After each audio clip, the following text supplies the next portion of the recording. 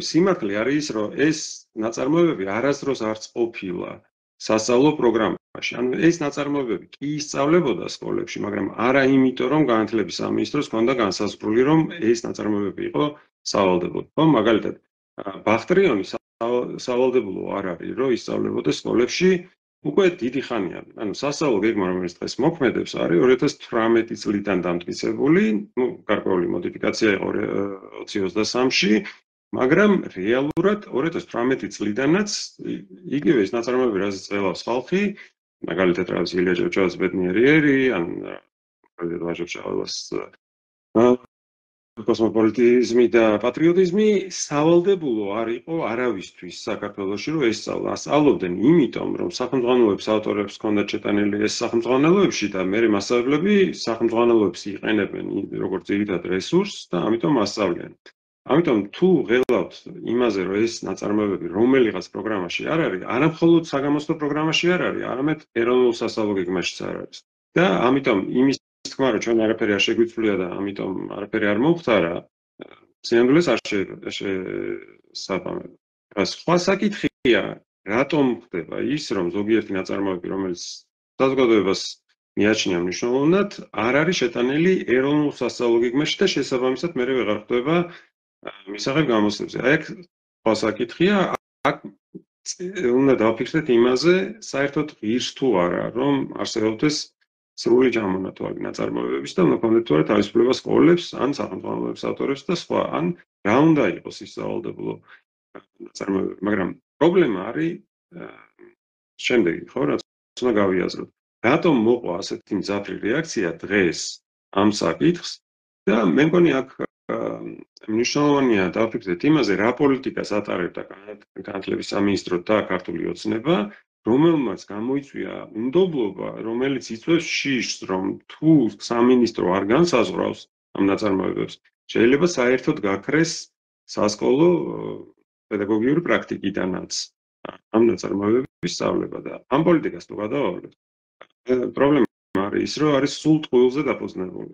Ну არაფხოლოდ ეხლა იტყუებიან იმას რომ პროგრამიდან რაღაც არ ამოუღიათ არამედ სულ იტყუებიან იმას რომ ეს თავრობა არის პატრიოტულ რაღაც მოტივებით მოქმედი ხელისუფლება რომ ამ პატრიოტული მოტივებიდან გამომდინარე იქ ვიღაცა ურჯულო და უსამშობლო იმას ოპოზიციას ეწვის და ამიტომ აძლიერებს ქართულის ისტორიის და ასე შემდეგ სწავლებას. ანუ ეს ტექსტები სადღაც ანუ ზეციდან არ واردება, ხო? ანუ ქართული იდენტობის განსაზღვრისთვის არჩევანს ვაკეთებთ, ანუ თერგდალეულებმაც ეს გააკეთეს თავის დროზე, ანუ წერაკითხვის გამორჩევნებმა საზოგადოებამ ერთი მხრივ თვითონ შექმნა რაღაც ტექსტები, რაც მათ მათი აზრით იყო მნიშვნელოვანი საერთო იდენტობის შექმნისთვის, ხო? მაგალითად, აი დაწერეს მაშინ რაღაც რაზმა ხერხეულიძის ამბავი და ახსენებდნენ ამას, რომ ეს არ ყოფილიყო, ეს ამბავი არ ყოფილიყო საქართველოს მხოლოდ ერთი კუთხისთვის მნიშვნელოვანი და ყოფილიყო ყველა ქართველისთვის.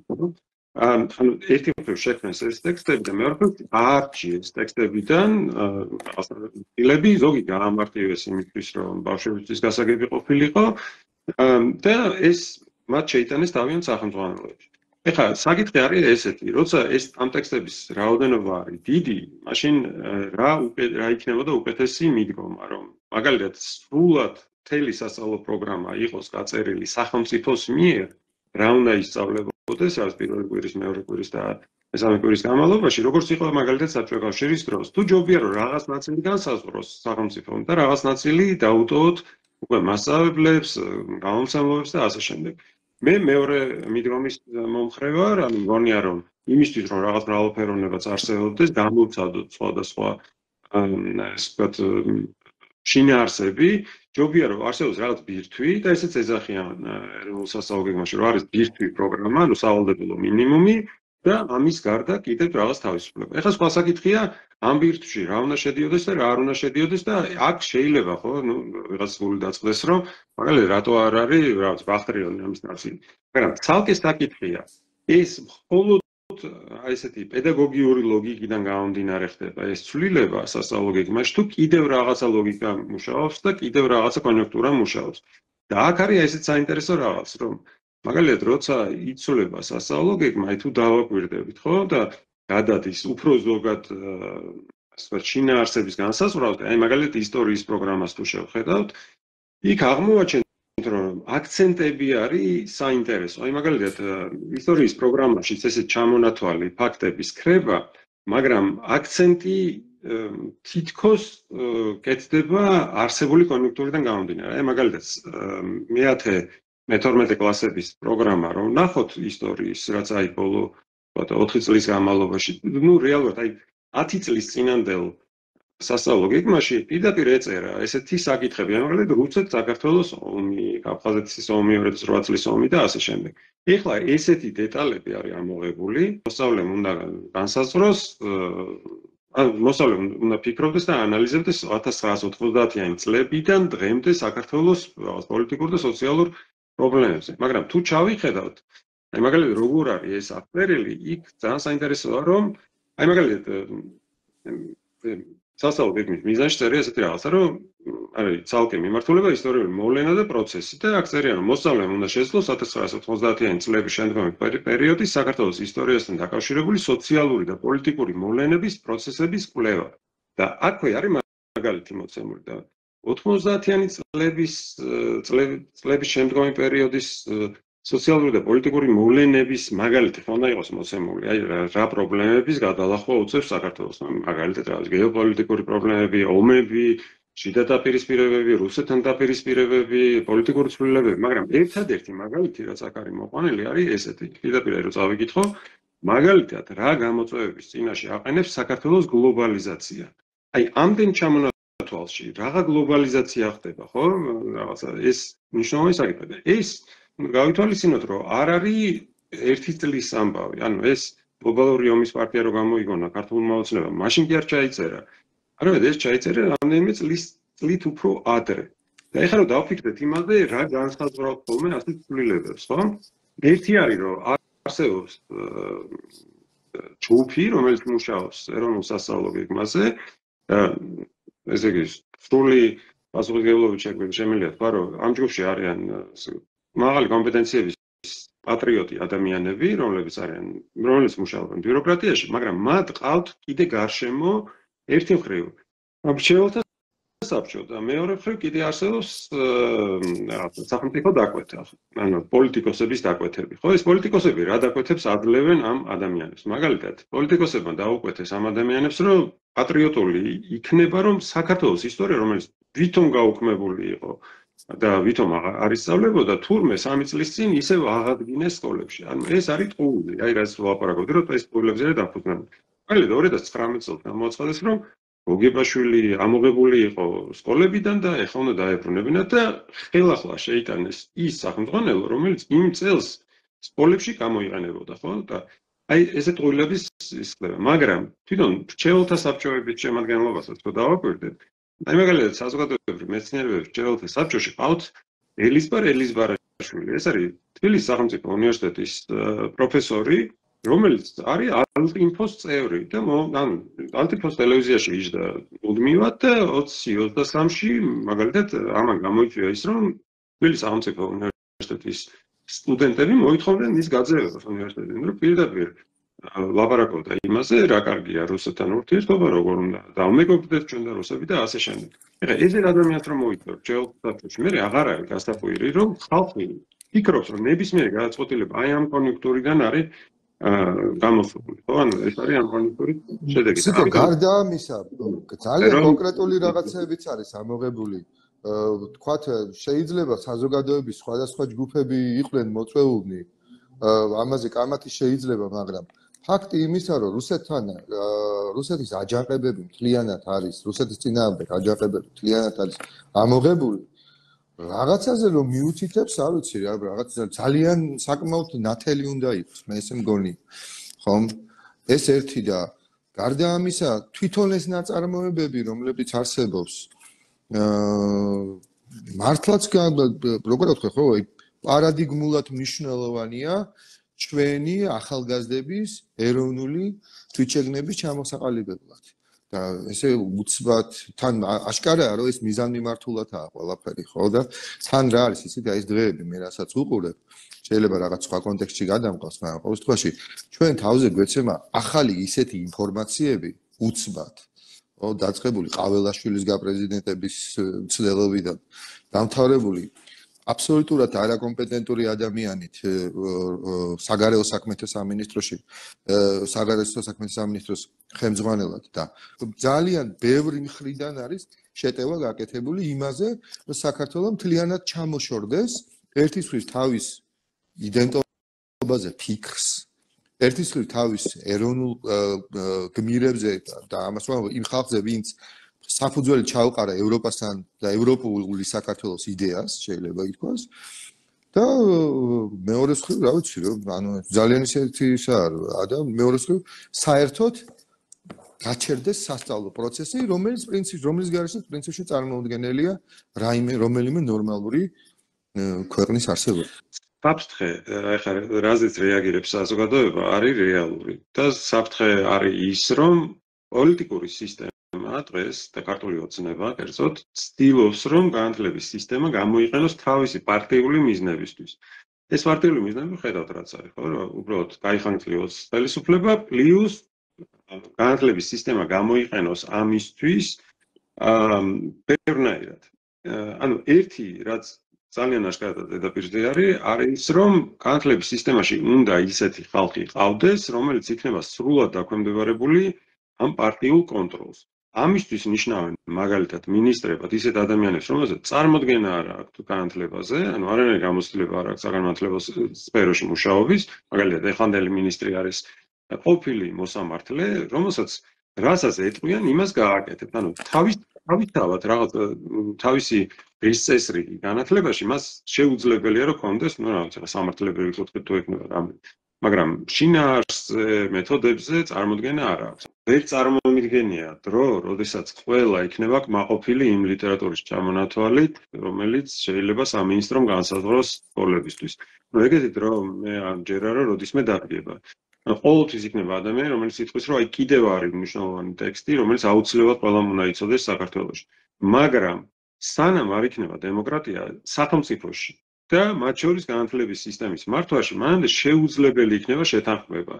ანუ დემოკრატია გულისხმობს შემდეგ რამეს. დემოკრატია განათლებაში გულისხმობს შემდეგ რამეს, რომ არ შეიძლება ჩვენ ვიაროთ მხოლოდ მშობლების ჭკუაზე, მხოლოდ სპეციალისტების ჭკუაზე და მხოლოდ პოლიტიკოსების ჭკუაზე.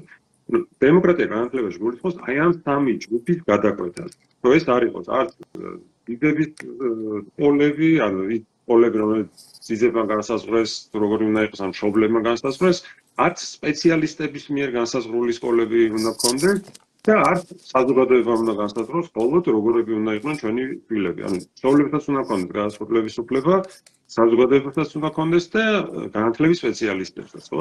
ანუ განათლების სპეციალისტები ამ შემთხვევაში არიან მაგალითად ისინი მიზაღები განათლების შემქმნელები, ხო? ანუ აი ამ გამოსვლებისა და შეფასების ცენტრის თანამშრომლები. ანუ არც მხოლოდ მათ უნდა განსაზღვრონ, არც პოლიტიკოსებმა უნდა განსაზღვრონ და არც მშობლებმა უნდა განსაზღვრონ, არამედ მათმა ურთიერთქმედებამ უნდა განსაზღვროს, როგორი უნდა იყოს სასწავლო პროგრამები, რა არის უკეთესი რომ ისწავლებოდეს კონკრეტულ კლასში ან კონკრეტულ საფეხურზე, როგორ უნდა ვასწავლოთ ეს საკითხები და ჩვენი პრობლემაც ეგ არის რომ რახან არ არის დემოკრატია არც სახელმწიფოში და არც განათლების სისტემის მართვაში ამიტომ ვერასოდეს ვერ ვიქნებით დარწმუნებული რომ რომელიღაც ჯგუფი არ ძალადობს ხებზე აი მაგალითად ვერ ვიქნებით ვერასოდეს დარწმუნებული აი როგორც ლევანი ამბობდა რომ ეს პოლიტიკოსების დაკვეთა არ არის რომ ეს კონკრეტული ნაწარმოებები ამოიღონ და არა მაგალითად რა ვიცი ისე განათლების სპეციალისტების განძრახვა რომ მაგალითად უფრო მარტივი იყოს მისაღები გამოწვევის პროგრამა იმიტომ რომ და მე რაღაცა სხვა არგუმენტები შეგვიძლია დავასახელო ხო? და ამათ როცა გიგრძელავენ როცა ხელისუფლება ყავს რომელიც ამას რასაც მინდა იმას ვიზავთ განათლებელს დანიშნავთ განათლების სფეროს მართლად ანუ საერთოდ ტელეკომის მართლად ან რა ვიცი იმას საკრე სისასტიკით ცნობილ ადამიანს დავნიშნოთ კულტურის სფეროში რაღაცა ისაკრე მართვის სადავებში ან ბადრაკს დავნიშნოთ მუზეუმის დირექტორად. ასე სისტემაში ხათია რომ ყოველთვის გვექნება უნდობლობა. საზოგადოების წევრებს როგორც სპეციალისტების მიმართ ასევე პოლიტიკოსების მიმართ.